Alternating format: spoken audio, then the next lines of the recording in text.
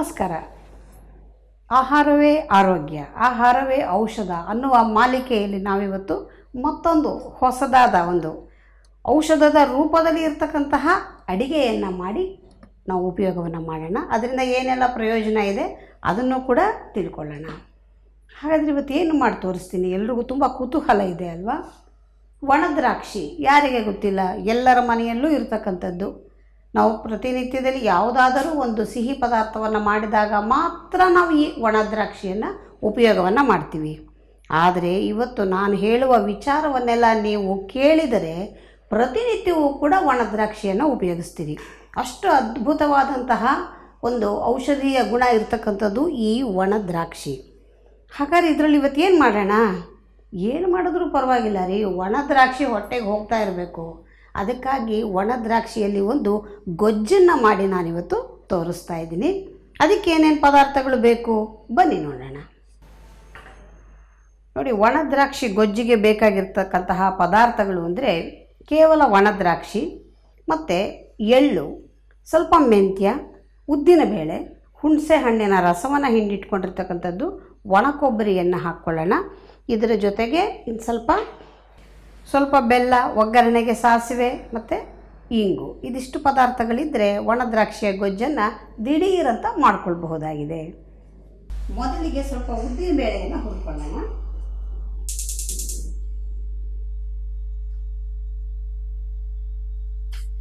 ಒಂದು ಚಮಚದಷ್ಟು ಉದ್ದಿನ ಬೇಳೆಯನ್ನು ಹಾಕ್ಕೊಳ್ಳೋಣ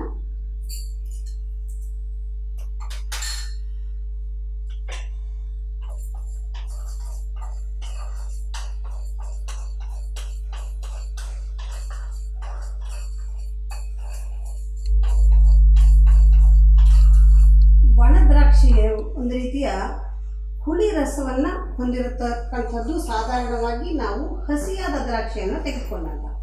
ಆದರೆ ಈ ಒಣ ದ್ರಾಕ್ಷಿಯನ್ನು ತೆಗೆದುಕೊಂಡಾಗ ಅದು ಸಿಹಿ ರಸವುಳ್ಳದ್ದಾಗಿರುತ್ತೆ. ನೋಡಿ, ಅದೇ ದ್ರಾಕ್ಷಿಯನ್ನೇ ಹಸಿ ಇದ್ದಾಗಲೇ ಅದರ ಗುಣಧರ್ಮಗಳು ಬೇರೆ ಆಗುತ್ತೆ. ಒಣಗಿಸಿದಾಗ ಅದರ ಗುಣಧರ್ಮಗಳು ಸ್ವಲ್ಪ ಮಟ್ಟಿಗೆ ಬೇರೆ ಆಗುತ್ತೆ. ಹಸಿ ದ್ರಾಕ್ಷಿ ತಿಂದಾಗಲೂ ಅದರಿಂದ ಪ್ರಯೋಜನ ಇದೆ. ಒಣ ದ್ರಾಕ್ಷಿ ತಿನ್ನೋದ್ರಿಂದಲೂ ಕೂಡ ಪ್ರಯೋಜನ ಇದೆ. ಇವತ್ತು ನಾವು ಮಾಡ್ತಾ ಇರೋದು ಒಣ ದ್ರಾಕ್ಷಿಯದ್ದು. ಹಾಗಾಗಿ ಅದರ ವಿಚಾರವನ್ನು ತಿಳ್ಕೊಳ್ಳೋಣ. ಈಗ ಸ್ವಲ್ಪ ಎಳ್ಳನ್ನು ಹುಡ್ಕೊಳ್ಳೋಣ ಬಿಳಿ ಎಳ್ಳನ್ನು ತೆಗೆದುಕೊಂಡಿದ್ದೀನಿ. ಕರಿ ಎಳ್ಳು ಬೇಕಾದರೂ ಕೂಡ ಹಾಕ್ಕೊಳ್ಬಹುದು.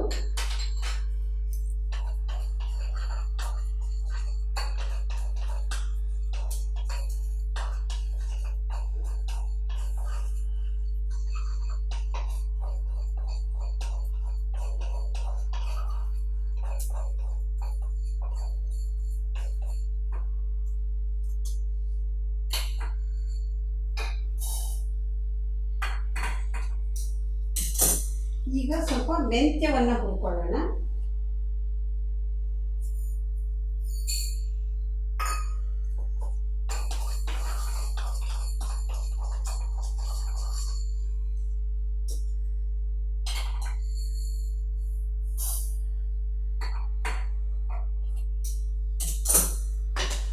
ಸ್ವಲ್ಪ ಒಣ ಕೊಬ್ಬರಿಯನ್ನು ಕೂಡ ಸ್ವಲ್ಪ ಬಿಸಿ ಮಾಡ್ಕೊಳ್ಳೋದು ಯಾವಾಗಲೂ ಒಳ್ಳೆಯದು ಯಾಕೆ ಅಂತ ಹೇಳಿದ್ರೆ ಈ ಒಣ ದ್ರಾಕ್ಷಿಯ ಗೊಜ್ಜನ್ನು ಒಂದು ಸಾರಿ ಮಾಡಿಟ್ಕೊಂಡ್ರೆ ಒಂದು ವಾರ ಬೇಕಾದ್ರೂ ಉಪಯೋಗಿಸ್ಕೊಳ್ಬಹುದು. ಅದಕ್ಕಾಗಿಯೇ ಒಣ ಕೊಬ್ಬರಿ ತೆಗೆದುಕೊಂಡಿರುವಂಥದ್ದು. ಇದನ್ನು ಸ್ವಲ್ಪ ಬೆಚ್ಚಗೆ ಮಾಡೋದ್ರಿಂದ ಕೆಡೋದ್ರಿಂದ ಅದಕ್ಕೆ ಸ್ವಲ್ಪ ಜಾಸ್ತಿ ದಿವಸ ಇಡೋದಕ್ಕೆ ಅವಕಾಶ ಆಗುತ್ತೆ.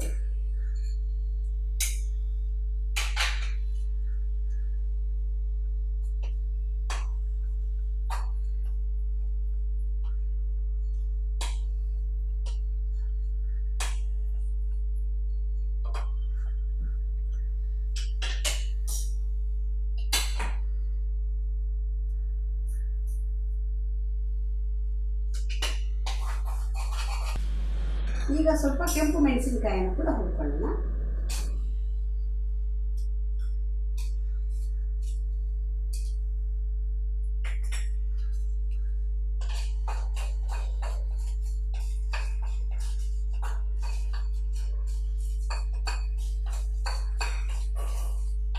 ಈಗ ಹುರಿದಿರೋ ಇಷ್ಟು ಪದಾರ್ಥವನ್ನು ಮಿಕ್ಸಿ ಜಾರಿಗೆ ಹಾಕಿ ನುಣ್ಣಗೆ ಪುಡಿ ಮಾಡಿಟ್ಕೊಳ್ಳೋಣ ಈಗ ಇದನ್ನ ನಾವು ಮಿಕ್ಸಿ ಜಾರಿಗೆ ಹಾಕಿ ನುಣ್ಣಗೆ ಪುಡಿ ಮಾಡಿ ಇಟ್ಕೊಂಡಿದ್ದೀವಿ. ಇದು ಹೀಗೆ ಇಟ್ಕೊಳ್ಳೋಣ. ಮೊದಲಿಗೆ ಸ್ವಲ್ಪ ನಾವು ಒಗ್ಗರಣೆಯನ್ನು ಕೂಡ ಮಾಡ್ಕೊಳ್ಳೋಣ.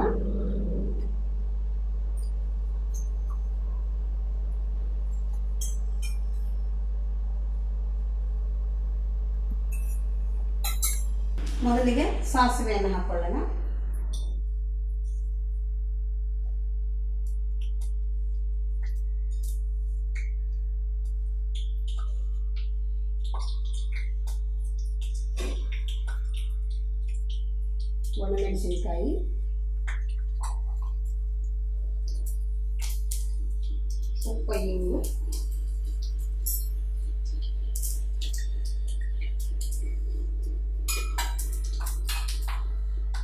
ಈಗ ಒಣ ದ್ರಾಕ್ಷಿಯನ್ನು ಹಾಕೋಣ ಒಣ ಸ್ವಲ್ಪ ನೀರಲ್ಲಿ ತೊಳೆದಿಟ್ಕೊಂಡಿದ್ದೀನಿ ನಾನು.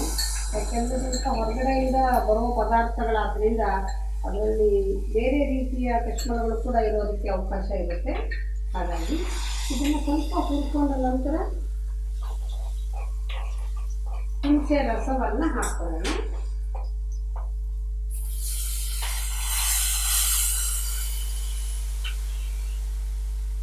ಹುಣಸೆ ರಸವನ್ನು ಹಾಕ್ಕೊಂಡು ಇದಕ್ಕೆ ನಾವು ಮಾಡಿ ಅದೇ ಮಾಡಿಟ್ಕೊಂಡಿರ್ತಕ್ಕಂತಹ ಈ ಪುಡಿಯನ್ನು ಸ್ವಲ್ಪ ಅದಕ್ಕೆ ಮಿಶ್ರಣವನ್ನು ಮಾಡ್ಕೊಳ್ಳೋಣ.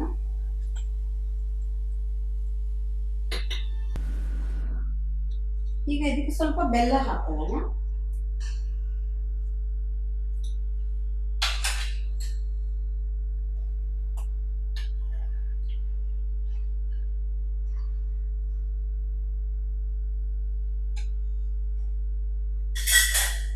ರುಚಿಗೆ ಬೇಕಾಗುವಷ್ಟು ಉಪ್ಪನ್ನು ಹಾಕೋಣ.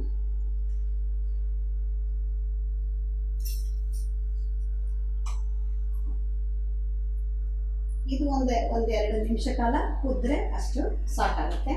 ಅಲ್ಲಿವರೆಗೆ ಅದು ಕುದಿಯೋವರೆಗೆ ಈ ಒಣ ದ್ರಾಕ್ಷಿಯಿಂದ ನಮ್ಗೆ ಏನೆಲ್ಲ ಪ್ರಯೋಜನ ಆಗಬಹುದು ಅನ್ನೋದನ್ನು ಸ್ವಲ್ಪ ವಿವರವನ್ನು ತಿಳ್ಕೊಳ್ಳೋಣ.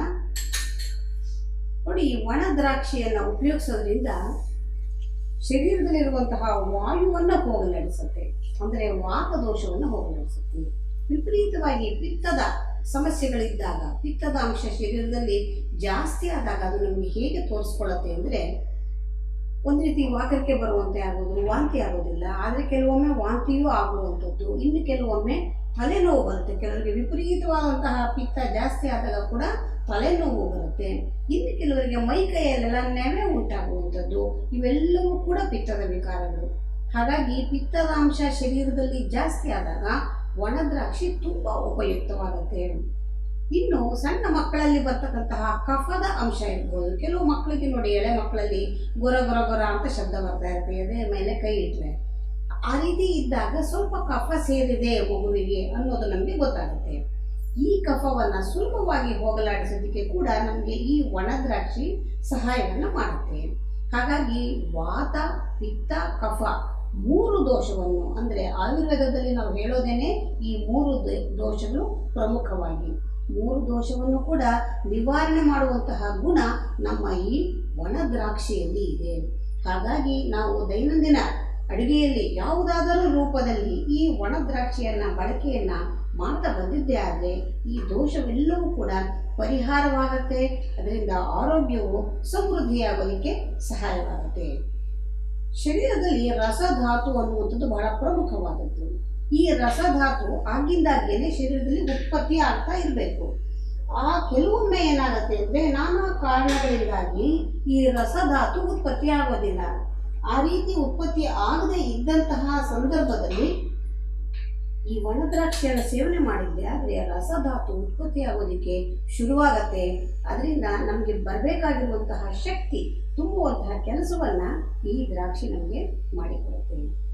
ಇನ್ನು ಕೆಲವು ಮಕ್ಕಳು ಹುಟ್ಟಿದಾಗಲಿಂದಲೇ ಅವರೊಂದು ರೀತಿ ನಿಶಕ್ತರಾಗಿರ್ತಾರೆ ಅಂದರೆ ಶಕ್ತಿ ಹುಟ್ಟಿನಿಂದಲೇ ಕಡಿಮೆ ಇರುತ್ತೆ. ರಕ್ತದಲ್ಲಿ ದೋಷ ಯಾವುದಾದ್ರೂ ಇರಬಹುದು ಅಥವಾ ರಕ್ತದಲ್ಲಿರ್ತಕ್ಕಂತಹ ಗುಣಗಳಲ್ಲಿ ಈ ಶಕ್ತಿಯನ್ನು ತುಂಬತಕ್ಕಂತಹ ಗುಣ ಕಡಿಮೆ ಇರಬಹುದು ಕೆಲವೊಮ್ಮೆ ಏನಾಗುತ್ತೆ ಅಂದರೆ ತಾಯಿ ಗರ್ಭಿಣಿ ಇರುವಾಗ ತಾನು ಸರಿಯಾದ ಪೋಷಕಾಂಶಗಳಿರ್ತಕ್ಕಂತಹ ಆಹಾರವನ್ನು ಸೇವನೆ ಮಾಡದೇ ಇದ್ದಾಗ ಮಕ್ಕಳಿಗೆ ಹುಟ್ಟಿದಾರದೇನೆ ಒಂದು ರೀತಿ ನಿಶಕ್ತಿ ಬರುತ್ತೆ. ಆ ನಿಶಕ್ತಿಯನ್ನು ಹೋಗಲಾಡಿಸುವಂತಹ ಕೆಲಸ ಒಣ ದ್ರಾಕ್ಷಿ ಮಾಡಿಕೊಡುತ್ತೆ. ಮಕ್ಕಳಿಗೆ ಹೇಗೆ ಅದನ್ನು ಕೊಡೋದು?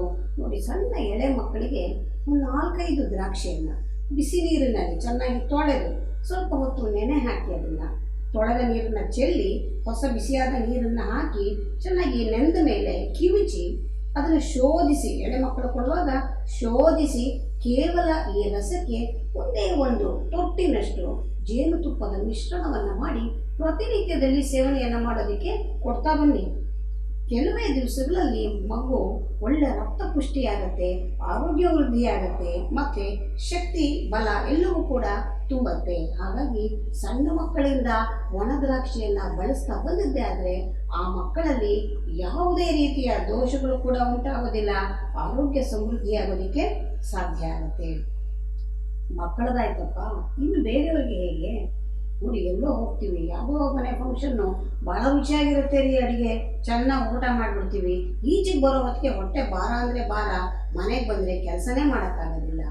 ತುಂಬ ಹೊಟ್ಟೆ ಭಾರ ಆಗುತ್ತೆ. ಎಷ್ಟೊತ್ತಾದರೂ ಕೂಡ ಅದು ಲವಲವಿಕೆಯನ್ನು ಕೊಡೋದಿಲ್ಲ. ಸುಮ್ಮನೆ ಮಲ್ಕೊಳ್ಳೋಣ ಅನಿಸ್ತಾ ಇರುತ್ತೆ.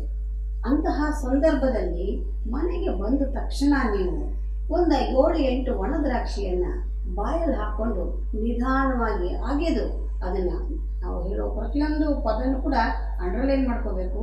ನಿಧಾನವಾಗಿ ಅಗೆದು ಅದನ್ನು ತಿನ್ನುವುದರಿಂದ ಕೇವಲ ಒಂದು ಗಂಟೆಯ ಒಳಗಾಗಿ ನಿಮ್ಮ ಹೊಟ್ಟೆಯ ಭಾರ ಇಳಿಯುತ್ತೆ.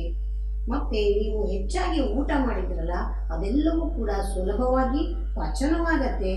ಎಲ್ಲವೂ ಕೂಡ ಸುಲಭವಾಗಿ ವಿಸರ್ಜಿತವಾಗೋದಕ್ಕೆ ಸಹಾಯ ಆಗುತ್ತೆ. ಅಷ್ಟೇ ಅಲ್ಲ, ಇದು ಒಂದು ರೀತಿಯ ಮಲಬದ್ಧತೆಯನ್ನು ನಿವಾರಣೆಯನ್ನು ಮಾಡುತ್ತೆ. ಮಲವನ್ನು ಸಡಲಿಸುವಂತಹ ಒಂದು ಕೆಲಸವನ್ನು ಕೂಡ ಮಾಡುತ್ತೆ. ಹಾಗಾಗಿ ಒಣ ದ್ರಾಕ್ಷಿ ದೊಡ್ಡವರಿಗೆ ಕೂಡ ಸಹಕಾರಿಯಾಗುತ್ತೆ. ಈಗ ಇದು ರೆಡಿಯಾಗಿದೆ ಗೊಜ್ಜು ರೆಡಿಯಾಗಿದೆ ಒಣ ದ್ರಾಕ್ಷಿಯಲ್ಲಿ ಘಮ ಘಮ ಅಂತ ವಾಸನೆ ಬರ್ತಾ ಇದೆ. ಮೊದಲನ್ನಕ್ಕೆ ಈ ಗೊಜ್ಜನ್ನ ಹಾಕ್ಕೊಂಡು ತುಪ್ಪ ಹಾಕ್ಕೊಂಡು ಬಿಸಿ ಬಿಸಿಯಾದ ಅನ್ನ ತುಪ್ಪ ಹಾಕ್ಕೊಂಡು ಈ ಗೊಜ್ಜು ಹಾಕ್ಕೊಂಡು ತಿಂದರೆ ಫಸ್ಟ್ ಕ್ಲಾಸ್ ಆಗಿರುತ್ತೆ ರೀ. ಇವತ್ತೇ ಮಾಡಿ ನೋಡಿ ನಿಮಗೆ ಗೊತ್ತಾಗುತ್ತೆ. ಅಷ್ಟೇ ಅಲ್ಲ, ಇದರಿಂದ ಆಗಬಹುದಾದಂತಹ ಪ್ರಯೋಜನಗಳನ್ನು ಕೂಡ ಹೇಳಿದ್ದೀನಿ. ಇನ್ನು ಬೇಕಾದಷ್ಟಿದೆ ಒಣದ್ರಾಕ್ಷಿಯ ಬಗ್ಗೆ ಹೇಳೋದಕ್ಕೆ. ನೋಡಿ ಯಾರಿಗಾದ್ರೂ ಕೂಡ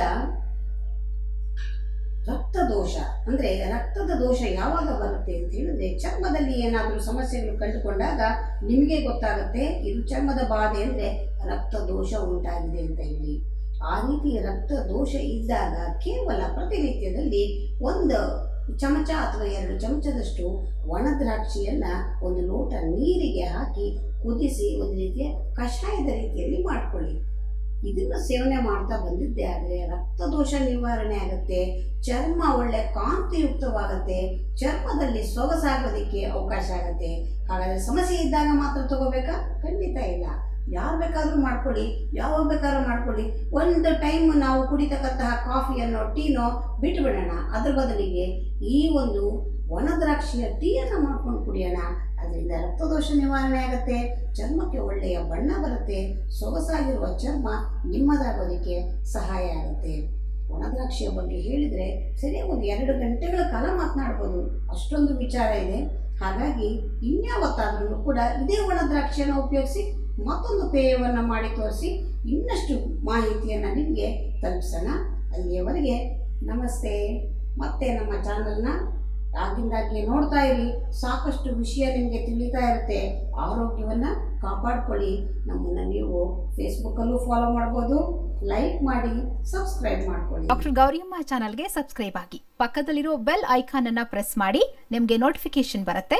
ಮುಂದೆ ಬರುವ ನಮ್ಮ ಎಲ್ಲ ವಿಡಿಯೋಸ್ಗಳನ್ನ ಮೊದಲೇ ನೋಡಬಹುದು ಫೇಸ್ಬುಕ್ನಲ್ಲಿ ಡಾಕ್ಟರ್ ಗೌರಿ ಸುಬ್ರಹ್ಮಣ್ಯ ಅನ್ನೋ ಪೇಜನ್ನು ಲೈಕ್ ಮಾಡಿ ಫಾಲೋ ಮಾಡಿ.